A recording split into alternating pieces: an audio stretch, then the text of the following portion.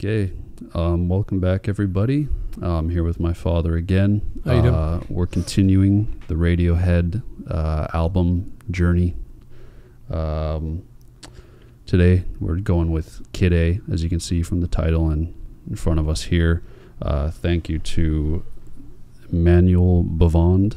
Uh, you got the top comment for uh, recommendations for this album. Um, it was between this and In Rainbows, but uh, more people were leaning towards Kid A just because it's the follow up album after OK Computer, so makes sense to uh, to go that way. It's been a wild journey so far, musically for me, um, mentally, emotionally. Uh, reading all the comments, I'm staying up till all hours of the night, reading all the comments and going through them all. Um, I take note of um, a couple of the comments saying my shorts were too short, so I put on some long green pants so you don't see the old man junk hanging out the sides. Yeah. And um, and I'll tell you, I've had OK Computer on Connor, and I can attest to that. Is I've had it on since we our last video. It's been on constantly on my headphones, doing yard work, working construction, doing all this kind of stuff, cooking. Absolutely love it. Absolutely know completely why it's such an epic album for so many people. It's become one for mine. I started to learn some of the guitar parts and hack away on them, and uh, it's just it was amazing. It was an amazing time. Yeah, that's why I'm really excited uh, to move on to Kid A because, uh, yeah, it is. I'm not going to spoil anything, but um, is a different type of album. There's a lot of a lot of people say it's like a left turn in their discography. Um, it's kind of where they shifted um, into a different sound, so you'll hear it. Um, yeah, I mean, do you have any expectations going into this? Um, you know, I loved OK Computer so much. Right, the fir- first album I dug, but OK Computer just brought it to an absolutely new level. Melodically, lyrically, emotionally, everything was just damn cool about that album. Like it's so good, right? Mm. Um, so no, I'm open for to hear what's up. Like I don't know what to expect. Every like I said, every, every song's a new turn yeah. every every chorus is a new turn every every chord is a new turn so when we're going from album to album right now i don't know where we're going and i have done my best to stay away from everything possible right Yeah. in between these so Okay, so starting with track number one, um, it's called Everything in Its Right Place.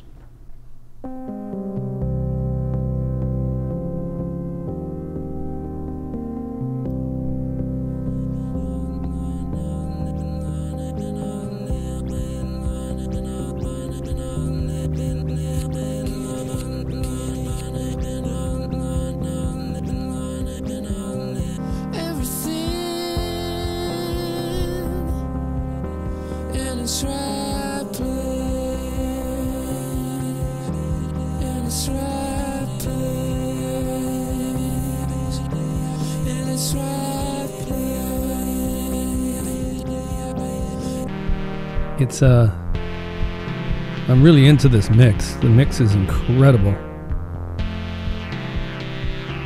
It's real really good oral stimulation.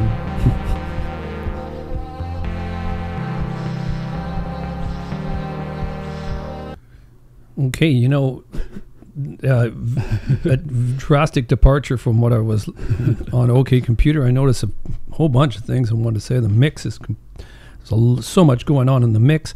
Uh, I'm, I'm I could be wrong, but I, I don't hear a single analog instrument in terms of uh, acoustic guitars, bass, uh, piano. Um, I heard a lot of layering, a lot of Vocal jobs. a lot of a lot of vocals, a lot of uh, other synth stuff going on. Um, but I didn't hear anything. It's just, that was a tough one for me to. It, it was a tough one for me to get into, right right off the bat, right? Because I heard that was going right, and then I figured that it would be something like what happened in OK Computer. We go into some cool guitar groove, right? Yeah. you know what I mean? And then get into that. But it just stayed that way the whole time, right? That would be for me a really good just chilling if um, if I you know had a smoked a big had a big puff and then listen to that, right? Yeah. we'll uh, we'll move on to track number two. Um, track number two is the title track of the album, Kid A.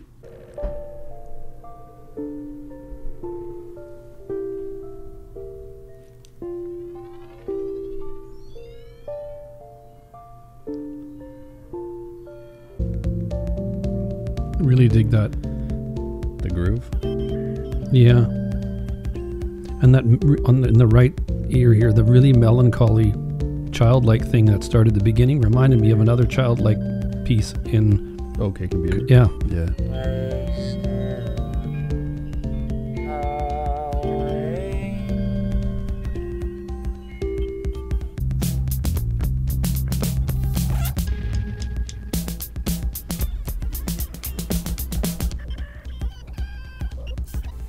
Wow.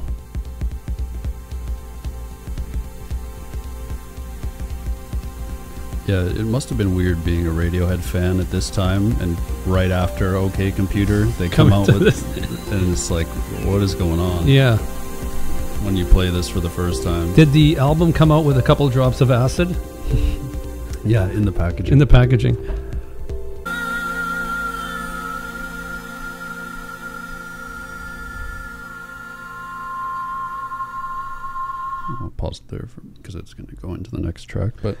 That was weirdly trippy. I tell you, man. I don't know what to make of it. There, it's um. I was checking uh, when I talked about the acid. I'm thinking maybe you dropped some in my tea, and it was just a totally, totally normal song or something. But yeah, I I heard a little bit of sounds like uh, could have been analog regular drums in there at the end. Came right. I think so. Yeah. Yeah, it came in. They add a little bit of that, but this is completely void of of instruments. Yeah. Like I'm, ter- I mean, Like guitar. guitars and I mean, Yeah. like again, acoustic instruments, bass, and all that kind of stuff. I think I heard a little bit of electric bass in there. What a jump! Anyway, we'll move on to no- uh, track number three. It's called the uh, the national anthem. Mm-hmm. Um, it's not the actual national anthem.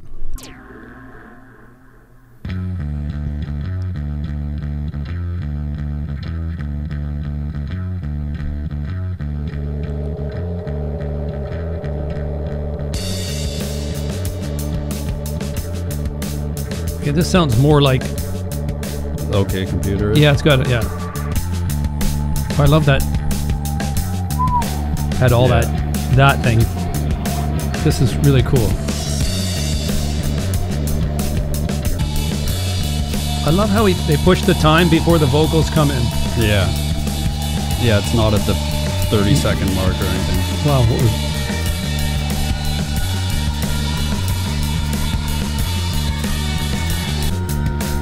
what was But listen to all the te- textures of stuff that's going on in the background.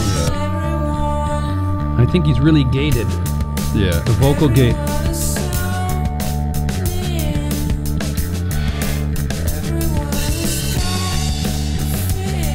I really like this track.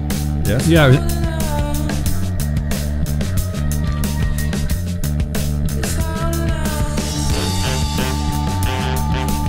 Wow. oh, that's. I did not expect that.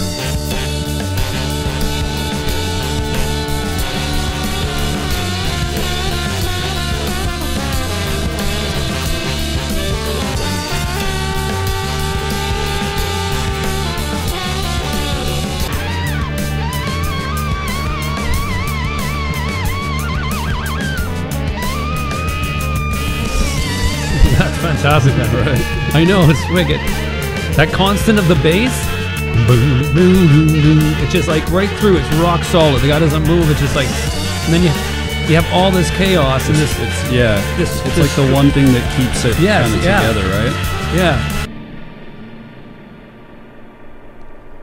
Okay. Thoughts. That was- wow, crazy, crazy, crazy. I you know I have to say one thing right now, and I just want to say to, to out to all the people over the years when I was younger, as your age, and I was going to songwriting competitions and submitting songs, and then they would have a jury and they'd come and talk to me out mm-hmm. loud, and they'd say, you know, you waited too long to get to your vocals. It should be under 30 seconds to introduce. You know what? I want to say F you to all you guys because listen to what these guys are doing. I don't know. That must have been a, what, a minute before anything or I longer? think it was like a minute and 40 seconds. yeah, before, anything was introduced, right?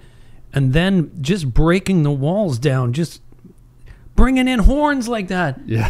It sounded like a raging elephant there, man. Right, I With the know. constant of the bass, it was just like There's a certain point where you get lost in that song because there's so much going on at once. Yeah. Uh, the horns are insane. There's the bass that, like we were Boom, saying, doom, it- doom, the boom, bass kind of Yeah. keeps it grounded. Okay, track number four is called "How to Disappear Completely."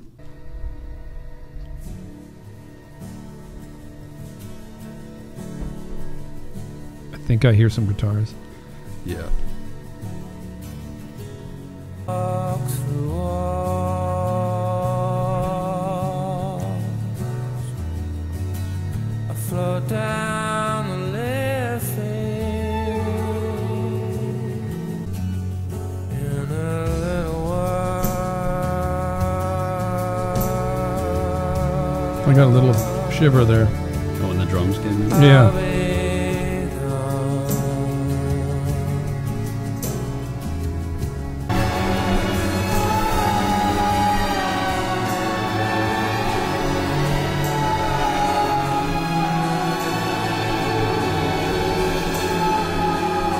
Wow, this is a great. And this is Very hypnotic. just what they're doing with the strings, the minor notes, and I love that sweeping. That That keeps coming through. Yeah. that's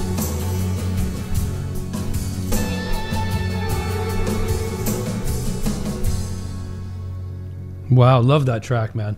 Um, I have to say, I don't know what everybody else is interpreting this track or what you have or anybody else's, but it, it's it's it just that that that going through there and and did you have you read the, are you familiar with the lyrics? yeah, or not? that's one of my favorite Radiohead Um, songs. Is he a ghost in this?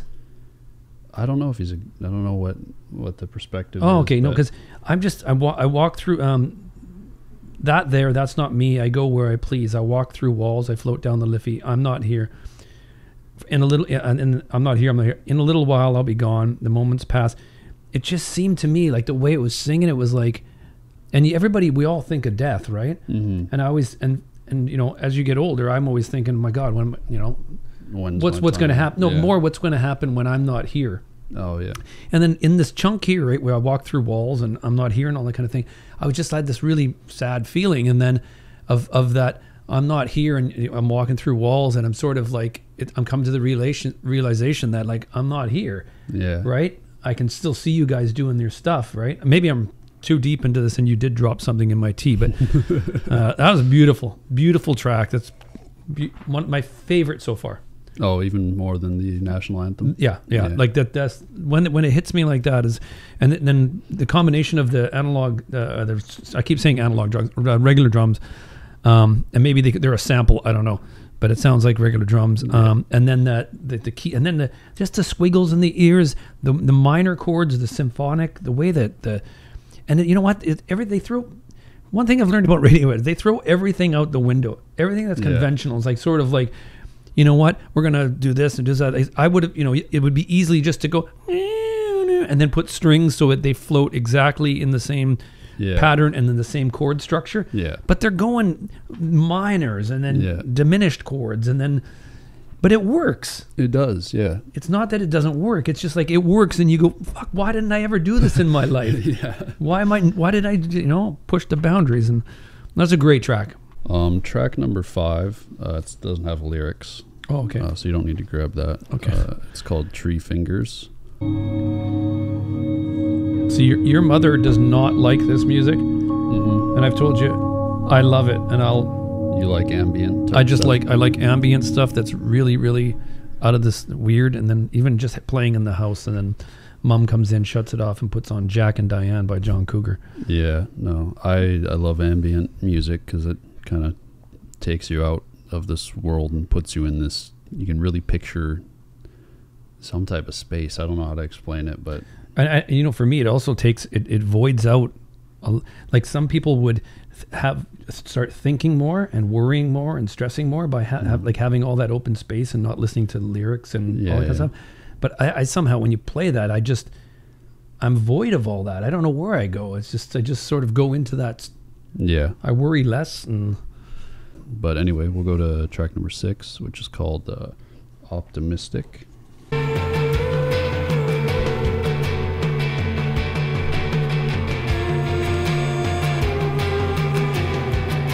I like the groove on this one right away. Yeah. There's guitar on this one, so.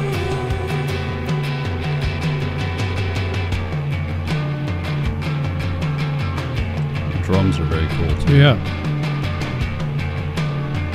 Reminds me of uh, Fleetwood Mac Tusk, the drums. Flies a buzz around my head.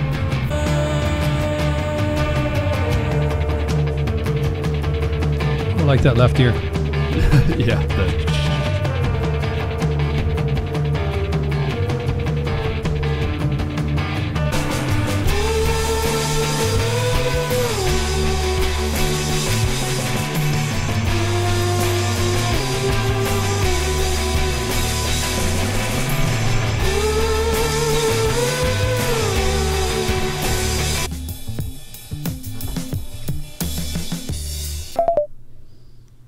okay. Okay, what was the ending? What was going on there? I don't know. Oh, really? That's just part of the song. Wow. It sounded like they left the tape going and then they jammed a little after or something. What do you make of that song? Um, I like it. First of all, I like the drum groove. It's really cool. Um, the, everything going on was neat. And again, this one I got really deep into the lyrics here and started to decipher it and trying to to make sense of it. And, and again, back I keep going back so many times is that it's.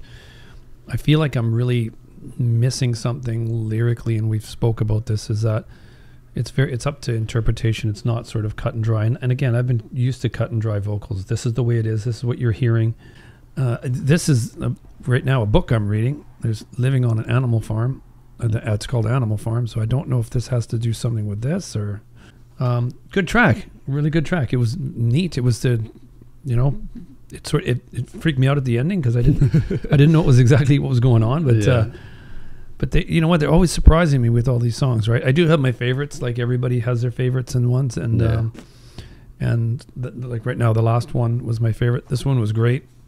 This album uh, had to grow on me i over time. Uh, like first listen to Mhm. this album, I was very confused.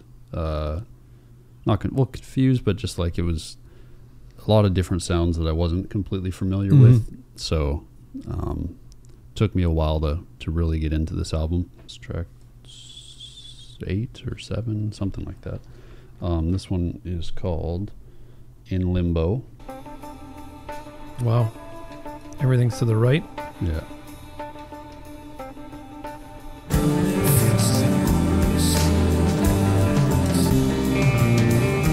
The timing of that run is Yeah. Just off, just a little late. Just like a half second. Yeah,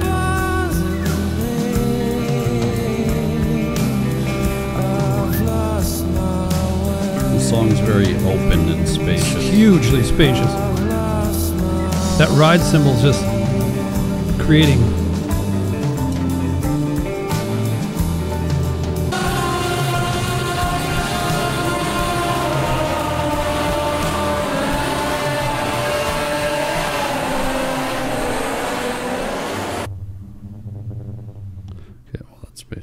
Whoa, you sure you didn't drop something in my tea? no. Through all that whole thing there. We went from the elephants and the horns and all that kind of stuff. It's a trip, man. This album is a it's a weird trip. You know, I'll, I'll tell you that um, the I think I just said with the timing is that just it there he's just a little late on the guitar, and I've played with guys like that where I've, where now I'm maybe realizing that they're really brilliant or something. Where they come in late. Well, they're coming late, and it would just kept driving me nuts. I'm like, no, you got to come in, come on, come in on the one, and then be like, and then I'd be shitting on them, right? Yeah. But I realize that maybe they're the real, Yeah. the real deals here, right? I I don't know where this journey is going. I don't know where it's came from. I don't know what the backstory is with. So, um, and you're not going to tell me anything. Uh, an album going to sort of like you know till we listen to the whole album or whatever, and, and we can dive into it somehow together Yeah. and um, Exactly. and talk about it. But uh, it's a trip, man. I just it's a from what I'm sort of piecing in here together is that we were at OK Computer and there was a bunch of technology hmm and there's way more technology on this and there's less and I don't know if there's any correlation or not, but there's less there's less there was some horns in here, but other than that there's some you know what I mean? There's Yeah, it's not as it's not very guitar driven. no completely. No. No, not at all. Anyway, we'll move on to the next track. It's called Idioteque. Oh, very reverby Yeah. electronic kit. Makes me want to do this. Wow.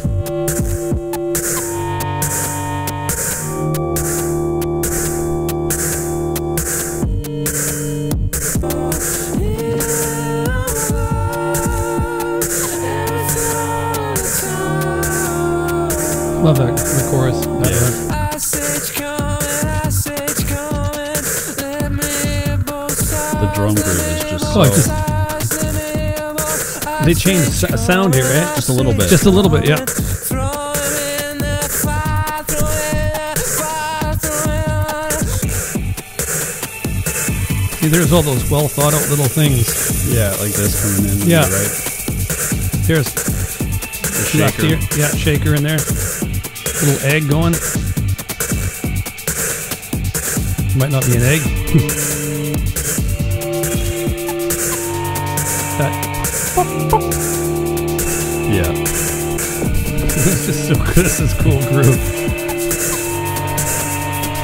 I'll uh, stop it here because it does go into. Oh, the that was that was wow. That was a trippy song again. you know what I was gonna say at the beginning? You know what it reminded me of? Like when that that whole intro there. Mhm. Um, bunch of the stuff that I grew up listening to when I was much younger was uh, like um, Depeche Mode and stuff. That when it was when guys started programming, really for the first time, that whole that beginning there reminded me of all that, the infancy of like programmed drums and uh, you know uh, Moog synthesizers, all that, right? Yeah. So that was that was that was that was a treat, man.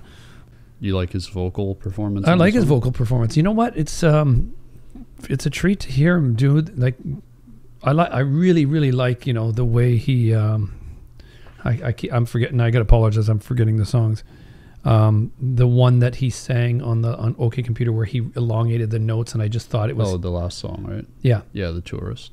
yeah the tourist. I thought it was just absolutely beautiful, and I could listen to him do all that like till the cows come home. But this is cool because it's just something so different. I admire these guys now. It's um for you know, and then at the ending there, there was just so many, so many little things. I had again, I had to smile because I can picture producing that and having headphones on and you create that. Like there was Yeah. so much. His vocals were over here. There was that little the little squiggle. Then this was jangling over here. And then you had everything else in the background. It was all perfectly syncopated. You know th- there's in the comments there you guys have put a ton of albums. And i can't tell you how how stoked i am to go through these because um i don't know what's i'm not it's something i would never just go out and grab i'm not one of those guys right to- Yeah. I just sort of listen to what's on my Spotify and that kind of stuff. But yeah. some of this stuff that I've been reading, the the just the names, it's like I've I I have no clue who they are. Don't even know what genre. I don't even know what genre it is. So it's it's going to be really interesting because it's definitely. I'll tell you, this ride so far over these few albums here has changed me musically. yeah. Like I, I like I, I feel bad, not feel bad, but I feel out of place playing something so conventional now because I want to try something out of the out of that box, right? Yeah. We'll go to the next track, which is the second last one. Um, it's called Morning Bell.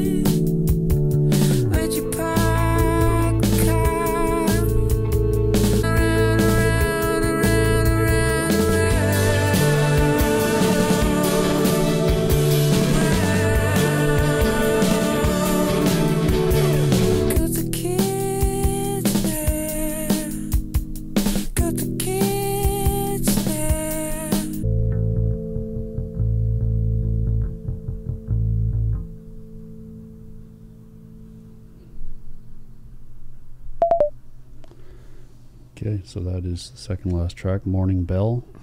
It's an interesting one. Very interesting. Very very interesting lyrically. I'm trying to make sense of what's going on, but I'm learning now not to.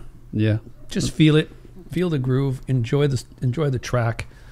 Yeah, you don't have to f- dissect every No, lyric. I realize that, and just you know, it's it's art, it's music, and it's Mhm. beautiful, and it just you know, everybody sees the painting different, right? Exactly. Right. yeah. So, um, but I kudos if the drummer did play that song through its entirety because No. he's like he's he's probably got a click track and he was totally spent after the end of doing Yeah. that the whole time, right?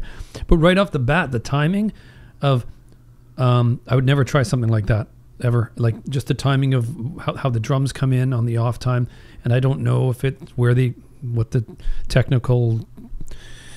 My drummer guy would know. He would say it's five four or whatever, Yeah. three eight, Something like that. five eights. yeah. I don't know, whatever. Right? He counts that stuff. Um, but I would never ever try that. And then and the way the bass came in over top of it, and it was off time. Boom, Yeah. boom. It just really really cool. This one is what's the name of it? Uh, motion picture soundtrack. Motion picture. I'll just I'll tell you before we even get into it. The lyrics remind me of a trip that your mom and I took to a motel about I don't know three weeks ago. So, did you want to read the lyrics? I don't want to read the lyrics anymore because I know the lyrics to this. So, Red wine and sleeping pills. yeah, cheap sex.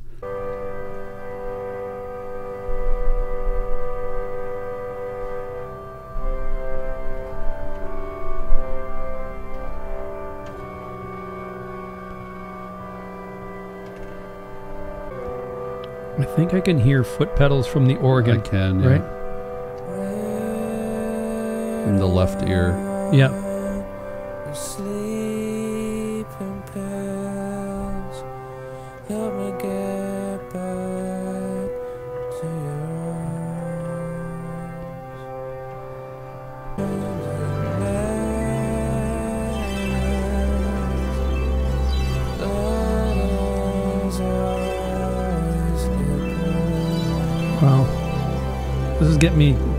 Too as well. Yeah, it's it's pretty sad.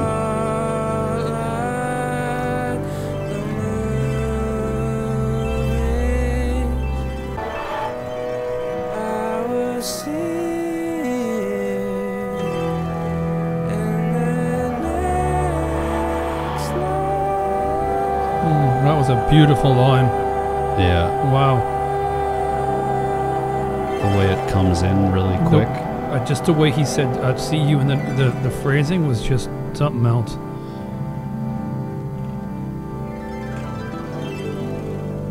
I, you know what, this is.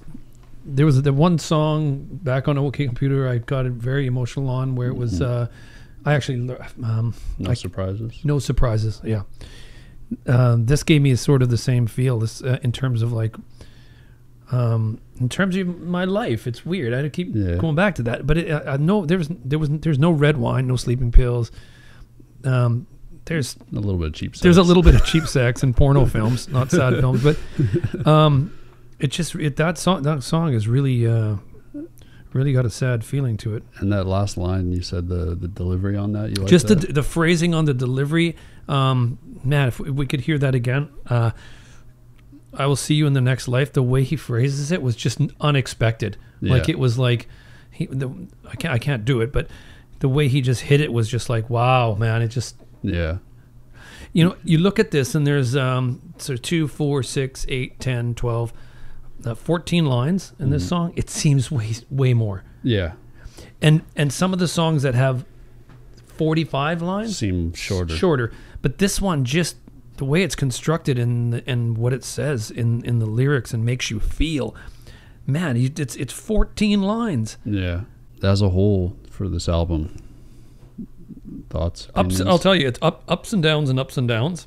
Um, crazy surprises. Uh, Every door had a different thing. Yeah, From from the horns, the way things, the the vocoders. I think it might be called a vocoder. Um, and then to really like a melodic thing like this from some of the some of the earlier the stuff at the beginning um, I think that's it for today. Yeah, and thank you again for all the comments and uh, and uh, keeping us entertained. Oh, almost at a thousand subscribers, which is insane. Thank you guys for the support. Uh, also, you as you can see, we're in high definition now, uh, not using the shitty webcam. Uh, so yeah, look forward to better quality videos. We got a good, better setup now, um, and hopefully more often. Uh, you know, at least once a week minimum. So thank you guys for watching, and uh, leave a comment uh, if you enjoyed. Leave a like, all that fun stuff, and uh, we'll see you guys next week. Take care and be safe. Peace. See ya.